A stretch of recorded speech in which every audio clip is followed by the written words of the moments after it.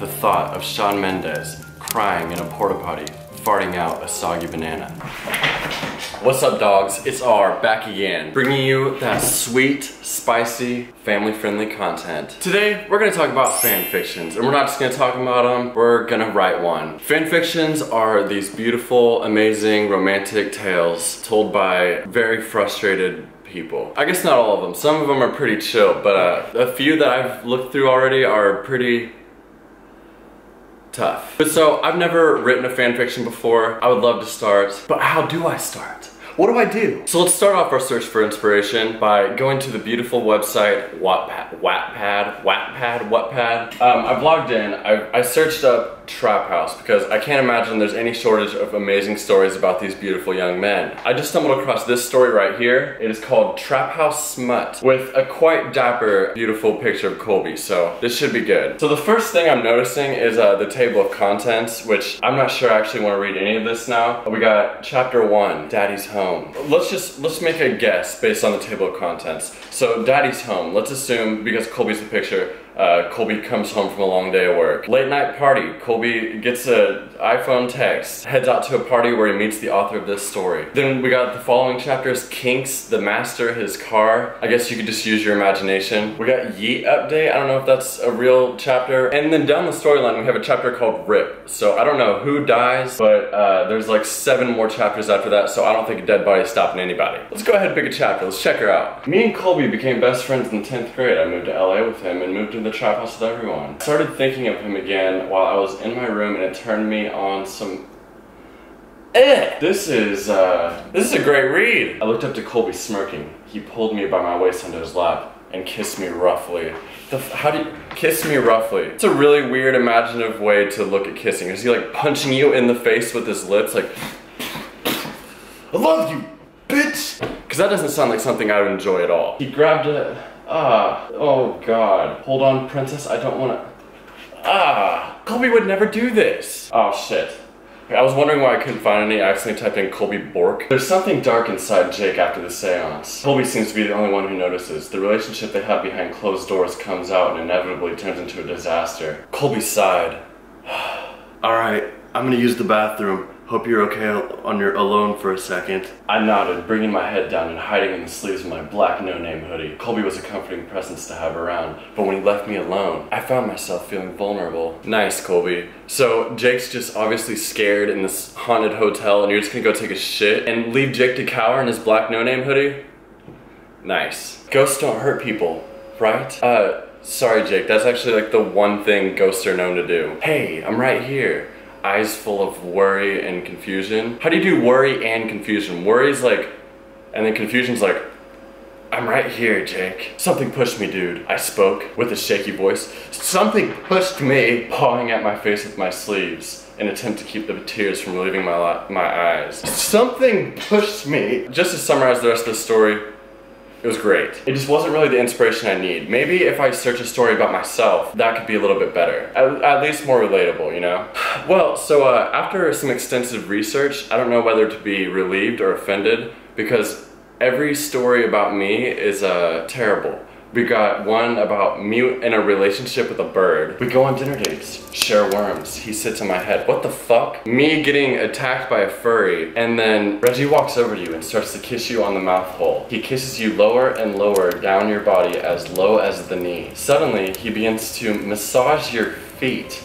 You tilt your head back and whisper, Oh Reggie, when all of a sudden, you feel your toes are wet. Are you fucking kidding me? You look up to see Reggie sucking on your toes and licking your feet.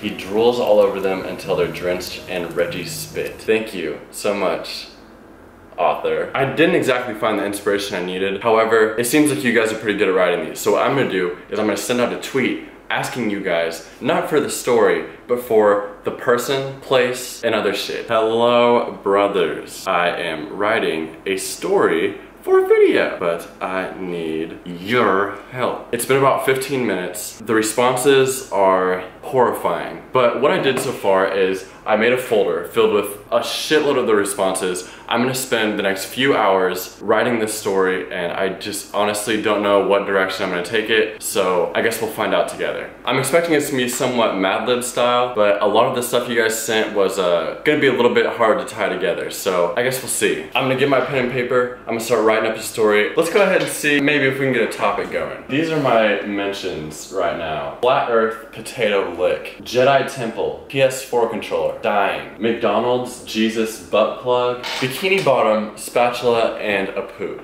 Thank you guys for making this very easy on me. I guess I'll see you guys when it's done. Okay guys, it is now hours and hours later, and I've finally created the optimal best Wattpad story I've ever read in my entire life. Sure, it gets a little bit disturbing here and there, but the moral of the story is just that it's amazing. But before I read this, I need to invite over a special guest to help me out. Okay guys, so now I'm here with Jake, and uh, he's gonna sit here and read my fanfiction with me. So Jake, if you didn't know, what I did was I sit- causes hideous rot really bad. Steve Irwin, Danny's not now. Steve? So, so what I did, I put together Adlib or Madlib style, uh, an entire fan fiction. I wrote it just using their tweets. Dude, that's ill. If you don't mind, I'm gonna set the mood real quick and let's get into it. Set the mood? Dude, we're brothers. Yeah, like I said, I I wrote this entirely using the tweets people sent me. So if you hear anything crazy, it, it wasn't my fault or idea. The title is called Garfield X Joe Bros: The Search for Eternal Love. Uh, the description is Garfield is a cat who hates Mondays, but mostly hates being alone. Should be pretty good. Me too, dude. It's a four-part series. I worked super hard on this, guys. Uh, actually, about, about this is about five hours work that you're about to hear. So let's get into it. Jake, I'm gonna do this, but I swear to God, if you touch me, okay. Ow! Prologue. A lonely cat. Entire story from Garfield's point of view. It was a cold, lonely Monday when I first felt it. The crippling, lonely void I felt within me that not even a lasagna could fill. I've always hated Mondays, but this one was especially tough. I've gone eight cat years without finding love, and it was all beginning to catch up with me on my way home from Burger King. I felt a warm liquid run down my face, but I wasn't crying. I was making the mistake of peeing into the wind. Wait, how did the pee get on their face? He was peeing into the wind. And the pee came back and hit him in the face. Yeah, if you guys aren't guys, probably haven't peed outside very much, but if you pee and the wind's coming towards you, it's just gonna hit you in the face. I stormed into my house and smacked an air freshener. A random guy riding a lion strolled past and yelled, This is my first time doing crack. I was at my lowest and decided it was time to find my soulmate. End of part one. Oh, I'm ready for part two, man. How do I go about finding love in a competitive world filled with cats? I began my search and headed to the mall. On my journey, I felt a burning sensation flare up beneath my tail. I knew I shouldn't have stopped at Burger King. I continued to walk, clenching my asshole. I attempted to distract myself, but my train of thought only led me to one place. The thought of Shawn Mendes crying in a porta potty, farting out a soggy banana. Oh, what? Do you think Shawn Mendes has done that before? I feel like nobody would have thought of that unless it's happened. I'm not like a Shawn Mendes stan, so I haven't seen all of his interviews, but I'm sure at some point he's talked about it. Like, do you think that he, you know, he's performing on stage for like a billion people, then goes backstage and just shits out a banana? No, this said he was farting out a soggy banana. You think? You, so I don't you think, you can he- shit out a soggy banana because it would just fall apart. Oh yeah, but if you fart out, he's Just splatters. and then the water just shoots right back in his butthole, and it just like gives him enough boost to go back and perform one last. I slapped myself silly to rid my mind of that scenario, as it was only making my situation worse. And that's when I saw them Kevin, Nick, and Joe Jonas. The ideal match for me. I was especially drawn to Kevin. My mind went blank, but I still had to poop. My mind was filled with curiosity, but mostly, I was just internally screaming, My ass, my ass, my ass. Dude, who do you think has the worst poops out of the Jonas Brothers? I feel like it's an easy Kevin. I'm saying Nick because he's buffer, so he's probably got like protein poops. Oh, I feel like Kevin probably eats like He's married, so he probably just eats like vegetables. Kevin. Yeah, isn't that the correlation? I guess so. Is is Nick married? Oh wait, aren't they all married? Okay, so it, so it just comes down to the protein poops. Yeah, we gotta go with Nick. Nick has the stinkiest poops out of the Jonas Brothers. Part three. Oh, I'm, oh god, oh boy. I frantically begin to wonder how I'll approach them. Joe is the first to notice me. He stares at me coldly and exclaims, My brother stuck a fork in an outlet at our school gym. He didn't get electrocuted. Confused, I shakily reply, Have you ever kidnapped a chair?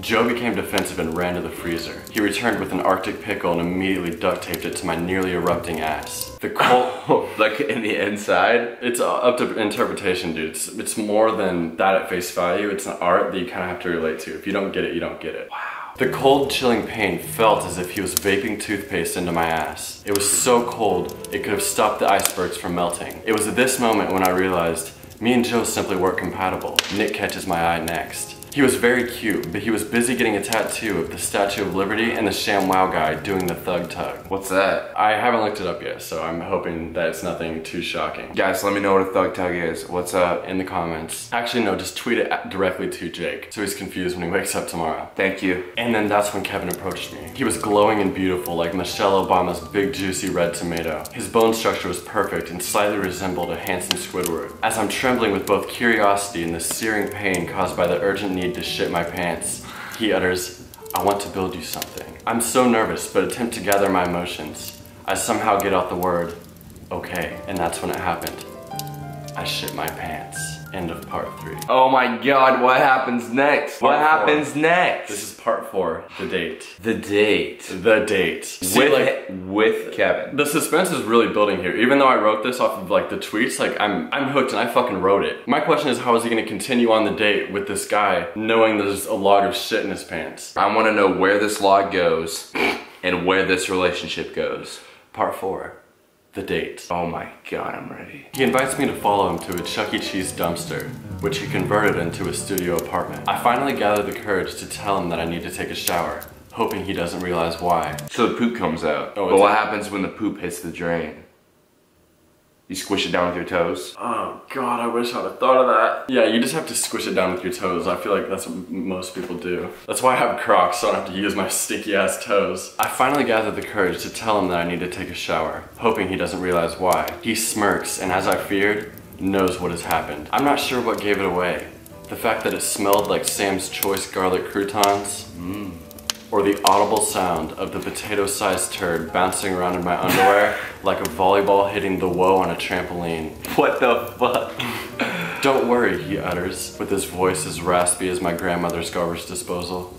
It's not my first rodeo, he says, as he points to the meatloaf-sized lump in his pair of black pants. he begins to scoop it out with a single sock before yelling, Hulk smash! and yeeting it out the window. Now that he's made me feel comfortable, I feel calm. Wait, so he took the poop out for you and threw it out the window. Again, bro, it's all subjective. It's art. If you don't get it, you don't get it. What the hell? I so he he Kevin Jonas took the potato-sized poop out of Garfield's pants and threw it out the window and said, no, he smash." yeeted it out the window. Yeeted. Yeet. But dude, it's it's literally like it's art is so flexible because me reading that, sure you could think of it as he's taking the sock to scoop the poop out, but for someone you know dealing with uh, depression, they might think of the poop as their depression, and the scoop is uh, the acceptance and love that is needed to cure it. Or like someone that has anxiety. The poop is his anxiety. It's just he keeps it all bottled up. In his underwear. And his underwear. He keeps his anxiety all bottled up in his underwear. Maybe him and Kevin aren't that compatible because when Kevin made wait, maybe he, Kevin made his anxiety go away because He he yeeted it out the window. because his anxiety once was through the roof in the attic, but now- I think it was in the basement. it was in the basement. And you know, people keep things in the basement that they can't get rid of, but it's always there. Yeah. And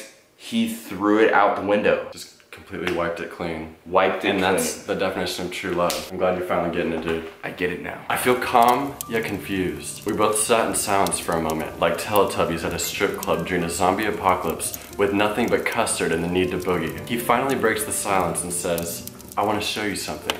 And like a magician, he begins sharding out a knife. Oh fuck. He then uses the knife to create a beautiful finger painting of Harry Styles picking his nose with the dildo. I want you to have this, he says. I begin to blush, Brava! and my mood changing fluffy handcuffs reveal that I am flattered while also slightly disgusted because his lingering shart was drifting into my nose like an Antarctic breeze. I knew the exact words I wanted to say, but it was hard to get out, like trying to pee out an entire dog collar. I finally begin to utter, I love you. Gibby interrupts me mid sentence, bursts through the door and yells, I'm moving in with you. The end.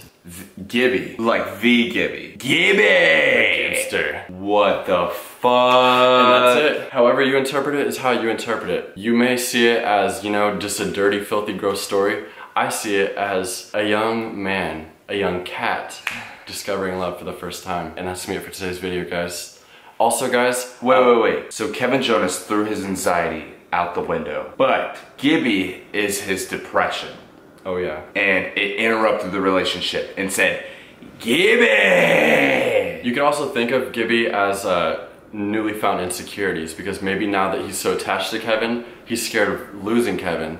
So he finally starts to feel comfortable and he's about to say I love you when all of a sudden bursting through the door, gimme! All those insecurities begin to uh, devour him. Wow. But anyways, that's me for today's video guys. Whatever you take from this story, you know, put it forth towards your life to create something amazing. I want you guys to comment down below what you interpreted from this. Exactly. What do you think Let me know. Let me know. What's the truth behind this story? And well, that's it for today's video. Thank you guys all so much for watching. Shout out this week is gonna be Sydney. Thanks for watching, Sydney. If you wanna be next week's shout out, tweet me, leave a comment, write an entire fan fiction about why you think you should be uh, shout out of the week, and send it to me. I'll read it. I'll see if I can make it happen. But anyways, I'll see you guys next freaking week, brother. Bye! Peace. Yo, just smoked a blunt and now I'm entering a state of bliss. I met with Lady Ecstasy and she gave me a kiss. I dreamed about you in a color that does not exist. I'm feeling excellent, things cannot get better than this. My mama checking in my bedroom, but I ain't there. I'm feeling things and hearing things, but baby, I ain't scared.